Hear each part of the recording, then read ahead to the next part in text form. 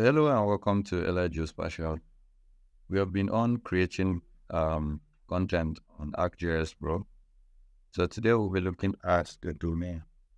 So what's a domain? A domain is uh, a set of restrictions, a set of permissions, or a set of direction, I can say, given by the the author or the creator of it. So domain allows you to enter only data that allow it doesn't allow you to type, just allow you to choose from the list of the drop down box that is permitted for you. So today we'll be looking at that. And I have a set of data here where I have the river. We're going to create that drop down list and then get right to it. So right click on the river and then you go to data design and then you head to domain. So while on the domain, you see a box. So you type in your domain name. So this rivers, we've tested the the types of water, what kind of salty water, we tested, and they want to create this domain for the quality of the water. So uh, under description, I'll say water quality. And then the field type will be text. The domain type will be coded value domain. And then I'm going to hit here. So here we're going to put the code, what each of these code means. The first will be P, which under description we will say it is poor. So the water quality is poor. You click enter. So we have G.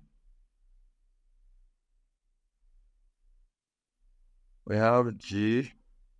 That means the water quality is good. And you enter, then we have E. The water quality is excellent. Enter, then we have A,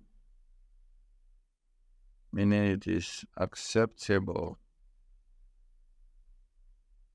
Alright, so once this uh one, two, three, four. Okay, do we have another one? Let's say um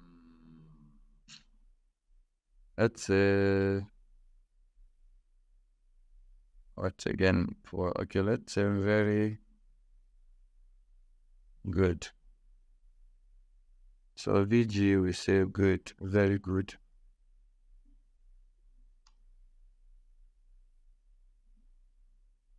Very good.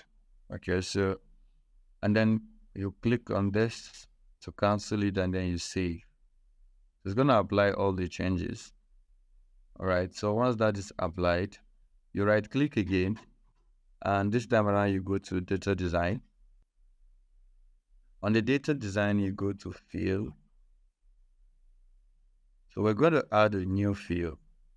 So this new field, we're going to name it water quality, water Q. So the, the data type will be double click and then you select text. So that's the same thing you selected where you were at the domain. So also you check this highlight button on under the water Q. Then on the domain now, you double click on it and then you select water quality. Then this, you put 20. All right, so, and then you save it. So let's go down to the attribute. All right, so once you click on attribute here, and I have this selected here. So you can see one of the rivers selected over here. So if you check on the attribute under the water, you see null. So when you click on it, you see this drop down button. So this drop down, you select, okay, which type of this water from your field work, whether this one is poor, then you go to the next, okay apply then you go to the next and then you select whether this is good